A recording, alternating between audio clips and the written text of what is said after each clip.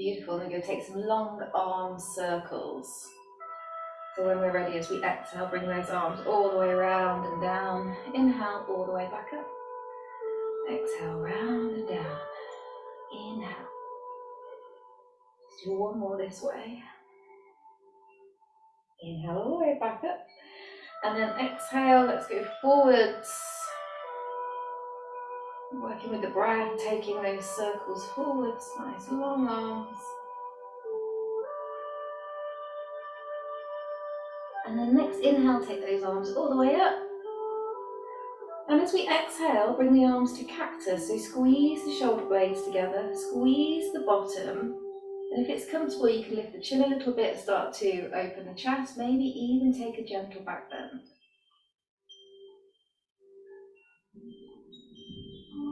Taking a few breaths.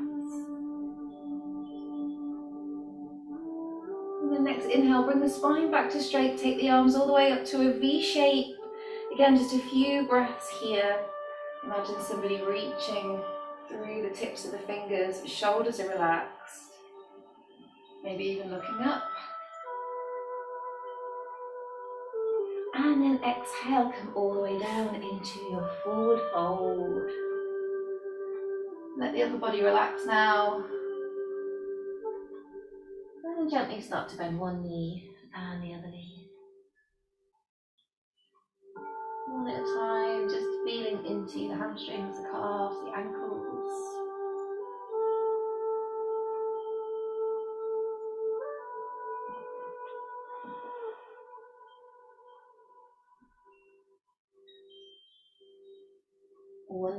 Then straightening both of those legs if it's comfortable, taking a breath. And then making sure that we've got the fingers or the hands connected to the mat. So if you need to bend the knees, bend the knees, take a breath in as we breathe out, step that left leg all the way back. Drop down onto the left knee. Now rise up into your low lunge, but bring the arms to cactus. So a bit of a cactus theme this evening, squeeze the shoulder blades. Open out into a gentle back bend. And then bring that spine back to a neutral position, so not back bending anymore, but the arms are still in cactus. Then take some twists, taking a breath in as we breathe out, twist to the right. Breathing in to center, breathe out, twist to left. So be mindful, just be very careful, don't go twist too far. Feel into the back as you do this. Doing a few on either side. Nice straight spine, no leaning back. One more on either side. Wonderful. And as you come back round to that final side, bring the left arm down. Take the right arm up. Breathe. So we're in a little low lunge, um, reverse low lunge. Just go back as far as is comfortable. And then as you exhale, big windmill with those arms, bring those hands all the way down either side of the right foot. Tuck the left toes under, lift the knee, breath in as we breathe out. Bring the right leg to join the left. So plank position or three quarter plank. Let's chaturangana. Keep those elbows tucked in, strengthen those shoulders, chin, chest, belly. Inhale up to cobra. And then as you exhale, just roll back down with chest. Again, push into the palms of the hands. Inhale, rise up to cobra. Exhale, roll back down. We're going to do one more. Push into the palms of the hands, rise up to cobra. And then exhale, transition to your down dog. Take a few breaths.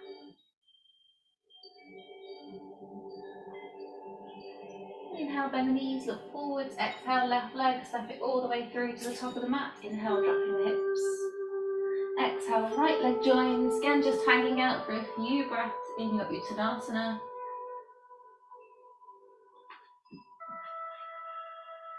And then let's rise up, big circle with the arms. So bringing those arms all the way up, long and straight by the ears.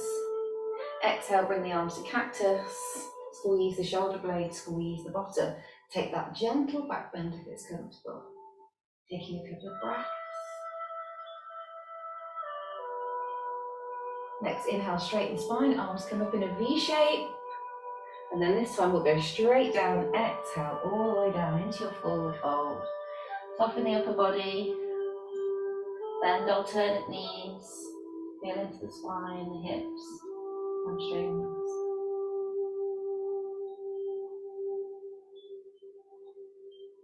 And then straighten those legs for a breath or two. And making sure fingertips or hands are connected to the mat, so bend the knees if you need to. And breath in, and as we breathe out, right leg steps back drop down onto that right knee. Inhale, rise up to your low lunge, bring the arms to cactus. So you can take a little gentle back bend to begin if you want to, and then bring that spine back to a straight position for our twist. So inhale, exhale, twist to the left. Inhale, center, exhale, twist to the right. Let's do a couple more on either side. You can hear the storm raging outside. One more on either side. We, we stop on this final side. So uh, we stop it over to the right, bring the right arm down, take the left arm up. Don't lean back too far because it can be a bit tricky on the balance. Make sure those back toes tucked under, looking up towards the fingers.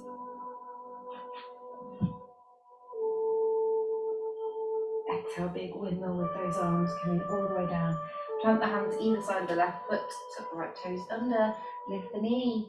Next exhale, step back with the left leg. Again, we're in plank or three quarter plank. Exhale, chin drops, then chest, then belly. This time we just do one cobra, rise up. And exhale, tuck the toes under. And push up to your down dog.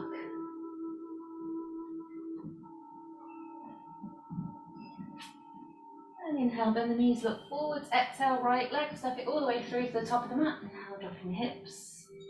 Exhale, left leg joins, maybe a breath or two in Uttanasana. And then inhale. This time, let's just rise up, bring the palms together, and exhale in front of the heart. Taking a few breaths.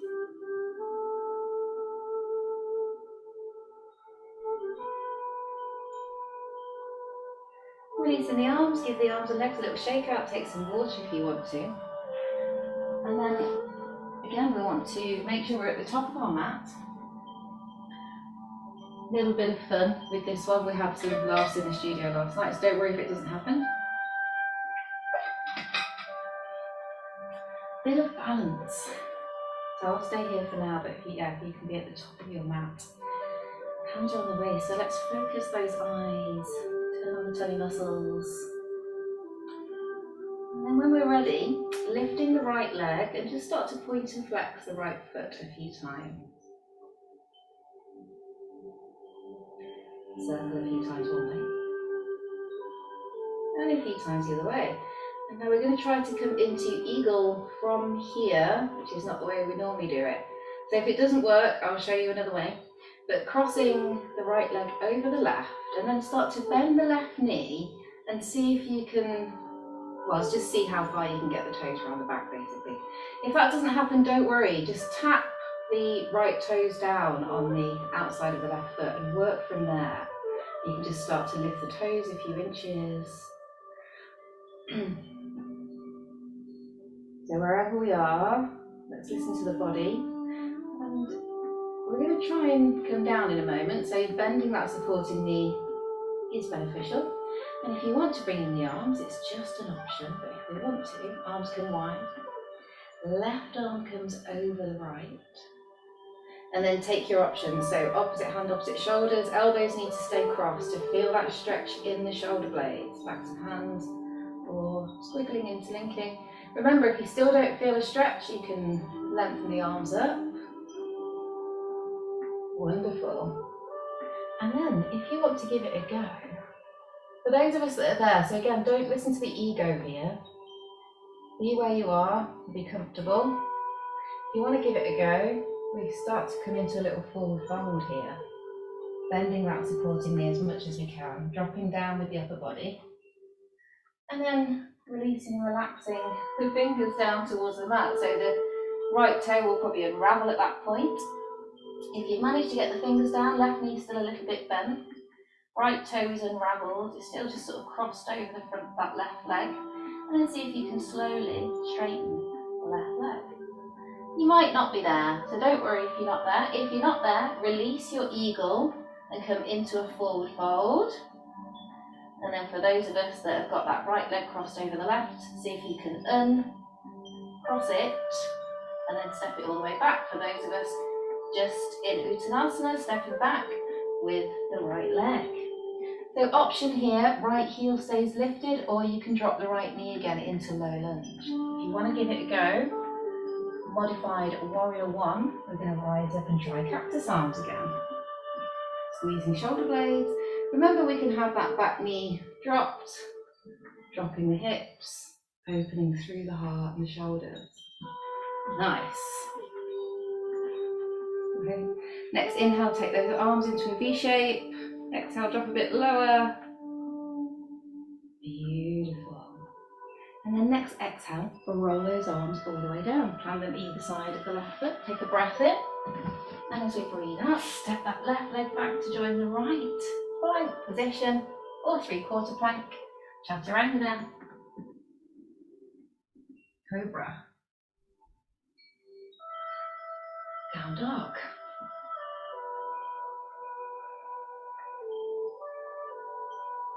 And inhale, bend the knees, look forwards. Exhale, right leg, step it through to the top of the mat. Inhale, drop the hips. Exhale, left leg. Then here we'll do a little half forward fold. Oh, Ardha Uttanasana. Exhale, full forward fold. And then inhale. Rise up again, taking a circle, bringing the palms together above the head. Exhale, bring them down in front of the heart and taking a few breaths. Beautiful, well done everyone. Bet you had fun with that. Remember not to be, oh, why can't I do it? Just having fun with it is the best way. So let's try the other side, shall we? Garudasana, eagle pose, just making sure that you're at the top of your mat. Hands can stay on the waist, feet to hip width, focusing the eyes, turn on the tummy muscles, all of those little tips that help with balance, feeling through the sole of that right foot. And when you're ready, lifting the left leg, let's point and flex to begin. Just a little extra stretch through that ankle because it is a big stretch on the ankle, this one as well. Circling the foot a few times one way and a few times the other way. And if it doesn't work for you getting into eagle balance this way, come your usual way. So just tapping the toes down on the other side. If not, start to bend the right knee and see if you can wrap the left leg around. Be mindful of the knees, but don't over wrap just to please the ego. Want to make sure the knees feel comfortable and then if you want, bring the arms in. This time, the arms can widen and the right crosses over the left. And then we've got the options with the arms as well for this shoulder stretch. So opposite hand, opposite shoulder, backs of hands interlinking. If you're still not feeling a stretch, you can take the arms up, making sure the shoulders, uh, the elbows, sorry, stay crossed. And if you've managed to get there, you could have a go at joining me at really bending that supporting knee dropping the body down as low as you can. And that, that toe will start to unravel, don't worry. It may not. See if you can reach the fingers down. And don't straighten that right leg really quickly. Take your time. And lock it out. And then, if not, just come into your forward fold. We're unraveling that left leg if we did come into it from our eagle. If not, just lifting the left leg and then exhale, step it all the way back. So keep that left heel lifted. Either drop down for a low lunge or rise up for your warrior one, arms come to cactus. Squeeze shoulder blades. Exhale, drop the hips. Open the heart. Breathe.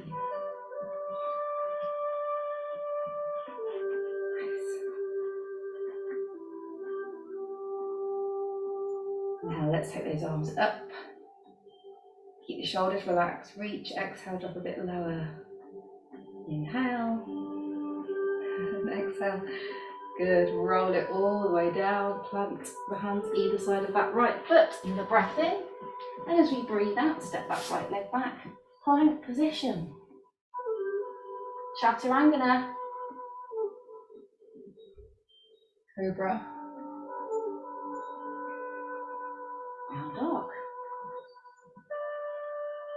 And before we come back, to do a little bit more strengthening for the shoulders here.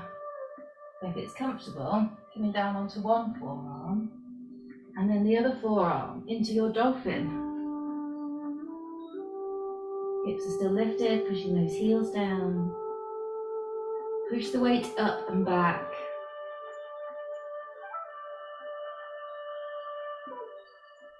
And let's see if we can plant one hand and lift back up the other hand. So we're back to down dog.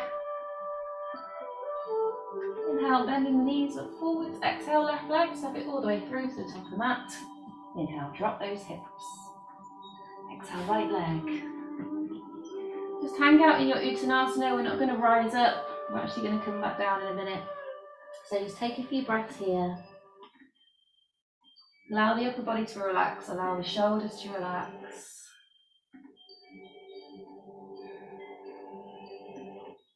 Let's do a little half forward fold like we did on the other side. Inhale, little half forward fold. Exhale, full forward fold. Bend the knees, plant the hands, and just start to come down to tabletop position. So it doesn't matter which leg you step back with. Wonderful. In tabletop position,